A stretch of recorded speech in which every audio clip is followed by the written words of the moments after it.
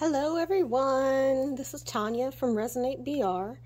Uh, I would just like to uh, do this quick, well, hopefully quick tutorial. It will be in three parts. I'm going to try and squish them all together so that way they're all in one video. Um, but there is three separate pours for this particular piece. I'm going to attempt something um, that I just tried that worked out really great with the toilet paper rolls. Um, and I did a galaxy theme uh, tray.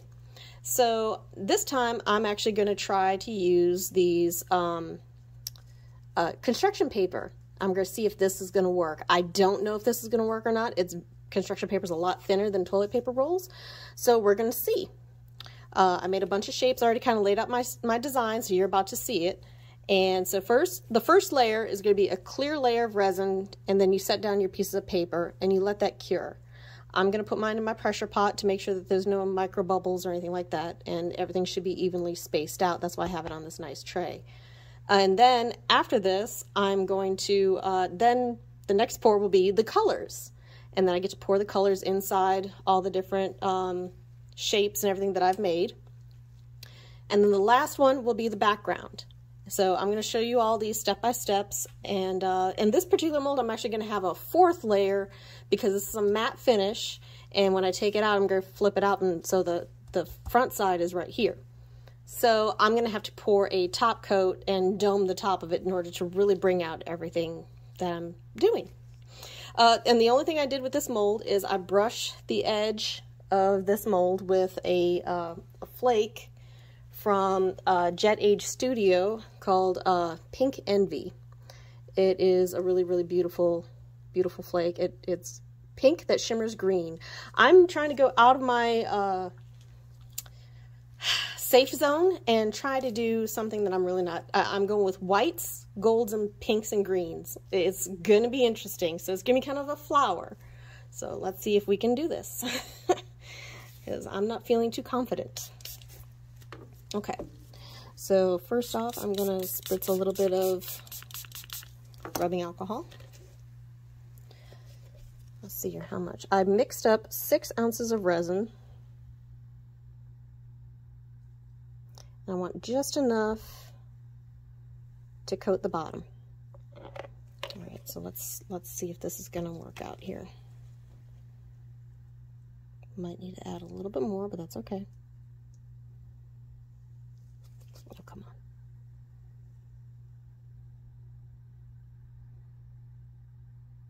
Yeah, I'm going to have to add more. It's already peeling away at some spots. Okay. I didn't think I was going to have to use a full six, but it's a little bit more.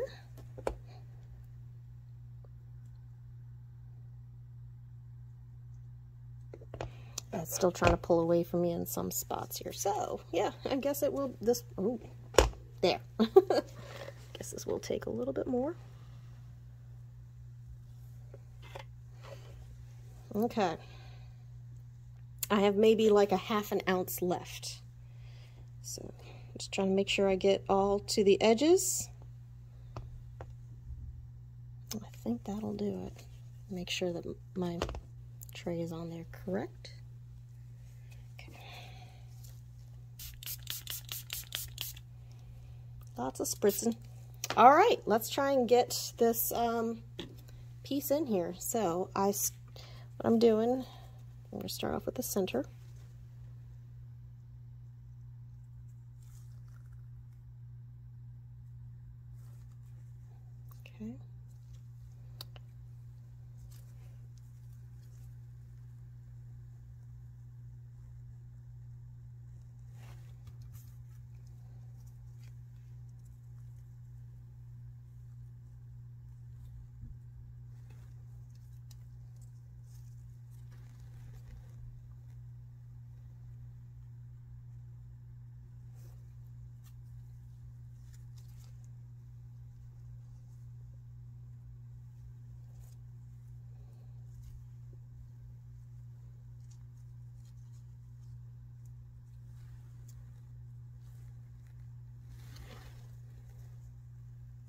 see, I think I'm already off by something here. So let's see here.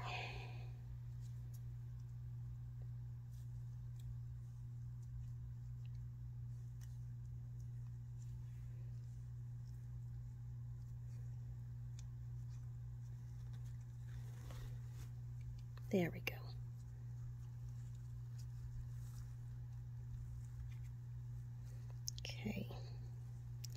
It's all in.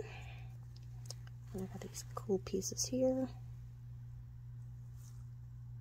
And these are bigger than the mold because what I will show you in the next step is I will um, uh, take, oh, come on, not there. Okay.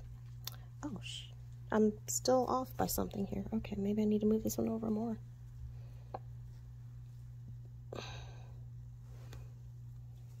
Sorry, I had this all laid out. Okay, there we go.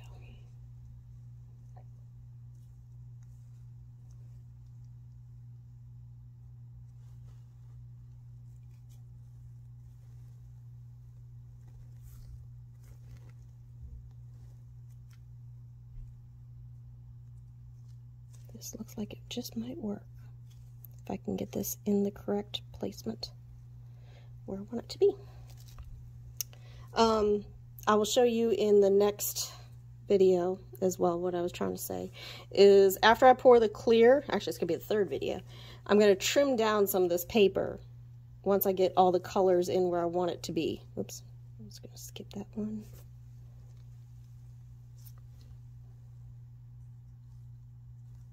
Perfect. Okay, and I will put in one thing though. I have this cute little um, delphinium flower that's already been dried and pressed. So I want that to be my center here. So I'm going to set that right in there.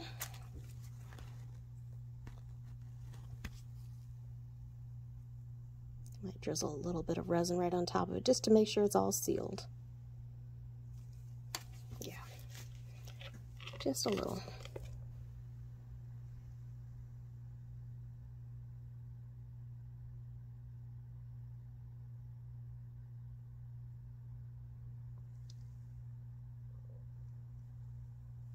Okay. And I think that's it for right now. And then um, hopefully we will be able to come back soon and uh, fiddle around with the placement a little bit more just to make sure I got it all straight. Make sure there's not too much resin in the center of these. I want just enough just to coat it. That's why sometimes I have to lift it up, let some of the resin come out. All right, like this one here, lift it up, let it come out. Okay. And that's it. So see you. Hello, hello. This is Tanya again with Resinate BR. All right, so this first layer is in and it looks really good. So now we're gonna work on colors, best part. All right, so I'm going to do pink, white, kind of gold, and some green. The green is gonna be in the background, so I'm not gonna worry about it too much right now. I'm gonna worry about just the petals and the little center of the flower. As you can see, I actually did the flower on the inside there, like a real flower. I believe it's a uh, uh, type of delphinium, a pink one. Um, I got it as like a mix of dried flowers, so I'm kind of guessing here.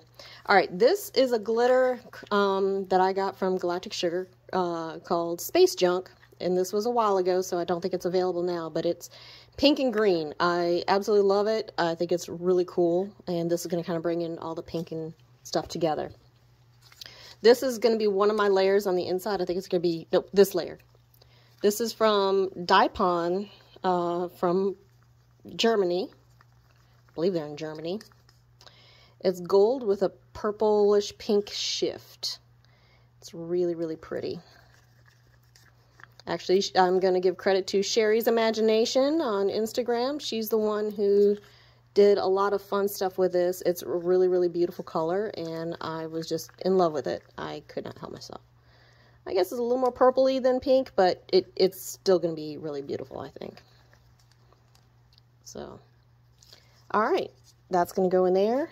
And then I'm going to do um, Snow White Dispersion Color from Counterculture. Uh, I am going to use quite a bit of this, so um, clean up that nozzle here a little bit. Oop! Oh, I probably should shake it up a little bit too. You should always shake up these dispersions. Come on, open up. There we go. And you only need a couple drops.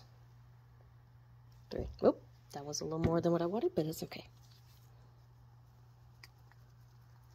And this is just pure white because I'm going to try and do an ombre going from white to pink. That's pretty, pretty white. I love this white. Okay. And then my other pink, I already have the resin in here. Oh, I'm probably going to need a little bit more. That's why I had a little bit of extra clear left over here so I can actually mix it in with the colors if I don't have enough in something. Um, this is going to be from Color Passion. Um, I got this from Deluxe Art on Etsy, and it's a baby pink. That was really pretty. I love it. So I'm going to put this in about another ounce of resin. I haven't even opened this yet. This brand, brand new pigment. Absolutely love it. And I've never had a problem with anything from uh, Color Passion or Deluxe. It's always a beautiful, beautiful color. It's deeper than Pepto-Bismol. so um, I think this is going to be really, really pretty. Just kind of mixing it up a little bit. And you never need much when it comes to pigment paste. Especially since I'm only doing like about an ounce. That's about all I need right there. Let me see if I can get the thing to show. Okay, just a little bit. Okay, put this back on. And I've got pigment going everywhere. That's okay. And boom. I'm going to let that sit here a moment. And actually, I'm going to take out this um, mixing thing here because it's going to be a little too much pigment, I think, if I keep it in there. So, it's to be pretty. I love it. And I need to change my glove because otherwise I'm to be getting that pigment on everything, and that's not a good thing. All right. My last color, which is to be in the middle here, so I do not need much, I'm to use, again, Color Passion from Deluxe Art. It's called Butterscotch. I think this is to be a really, really pretty color for um, the interior of the flower. And um, again, I hadn't even had a chance to open it yet. So, ooh, that looks like the interior of a flower. That's to be good. I think it's to be working really nice. It's almost like a mustard yellow. Um, please forgive the noise in the background. That is my husband taking our dog outside. So, apologies. All right, so again, butterscotch. Not need much. I think that's going to work out really good. And again, I'm going to take this out because this already has too much pigment on it. And I'm going to use just a plain stick here and just kind of mix it around a little bit more. There we go. Let that sit. So these are my colors that I'm going to use in this um, piece. Trying to wipe off the excessive amount of color on my gloves. All right, let's get going on pouring. So I'm going to start off with this little bit of glitter. Um, and I do have some molds nearby, so if I have too if I have too much color, I can pour it into the mold later. So watch the lizard. I have a lizard that is looking or watching me, so.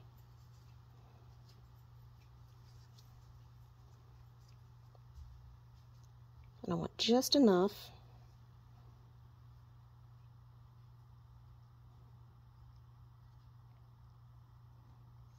Yeah, I'm going to have a lot of leftover resin. I see that now.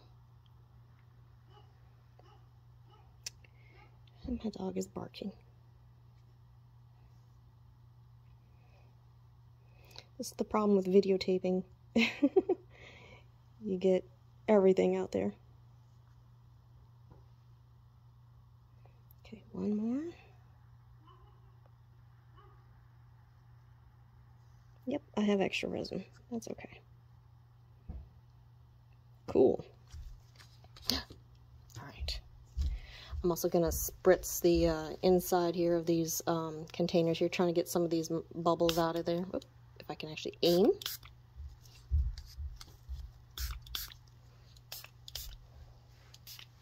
There we go.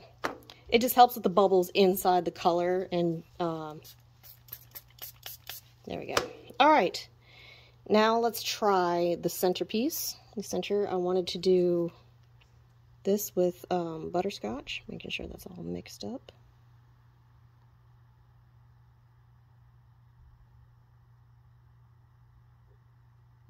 Now, I am watching what I am doing. I'm not watching the camera, so forgive me.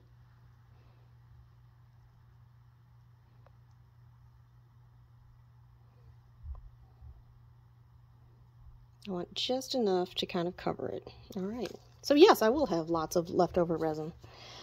oh well, that's okay. Okay, now I'm going to do this Dipon.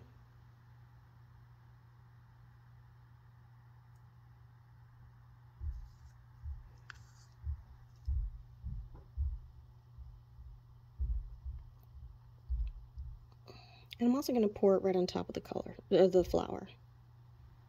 The flowers have been completely encased in resin, so um, this way that'll give it a little bit more of a background. I'm going to add a little bit more to this just to make it a little bit deeper of color.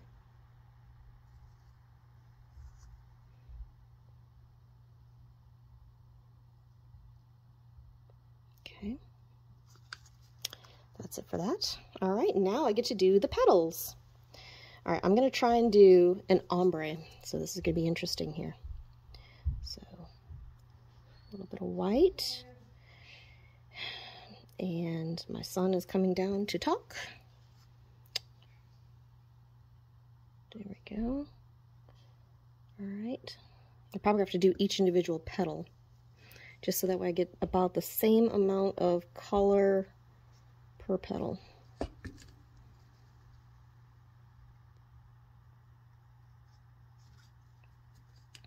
And then I'm going to swirl it as soon as I get all the color in there.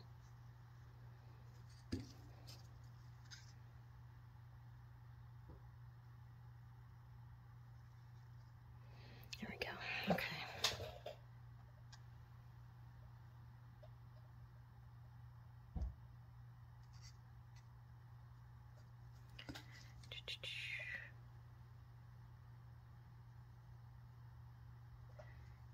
white.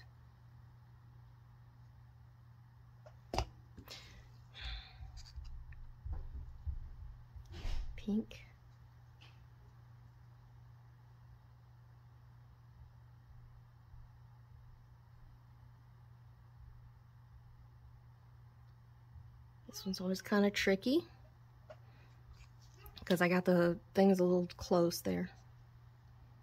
All right. This one actually might need a little bit more.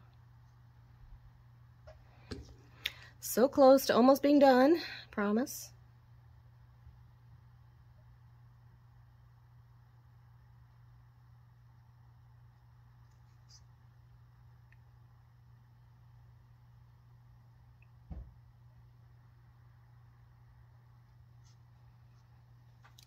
Okay, a little bit more white.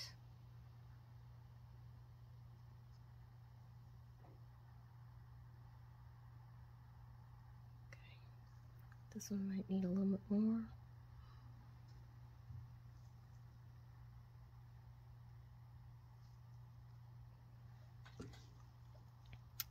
Okay, might need a little bit more pink too. Come on, a little bit more. I'm almost done with the pink, so that's about all I got. All right, boom. Now for the swirling and also trying to make sure that I got it all around these circles. That's going to be a, a test.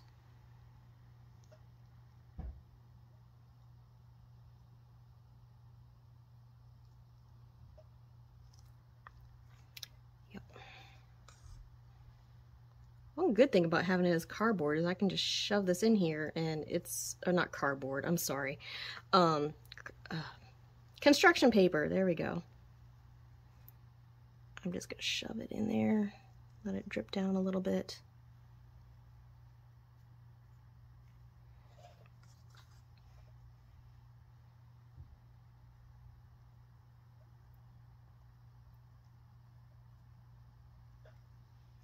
Also, I think when I'm about, since I'm about to put this in the pressure pot, it's going to, um, it's going to come out pushed into those gaps where, uh, right around these circles.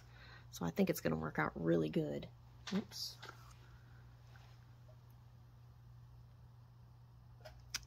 This is a test, so I don't know how this is going to turn out, but I'm hoping it's going to turn out good. Let me stand up here see. This one right here is giving me a little bit of an issue. Okay. Now to swirl, I think.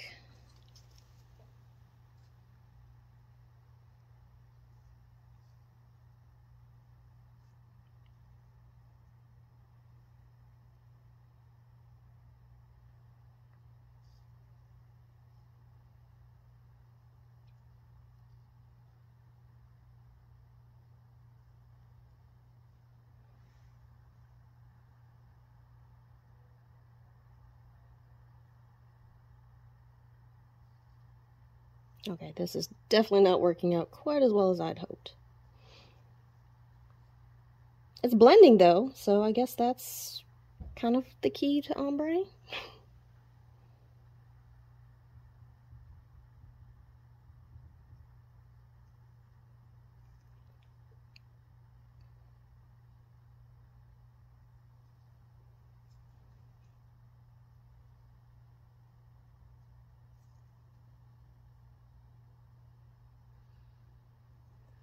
All right. That is all I'm going to do with this layer. Um, maybe a quick little spritz here just to kind of help out with bubbles. And that's it. I'm going to put this in the pressure pot, let this uh, cure, then I come back. I'm going to clip all the excess uh, paper, and then I'm going to pour the background. And I don't know if I'm going to cover the entire background or if I'm just going to do just the sides. We're going to see that later, so please stay tuned. Thank you.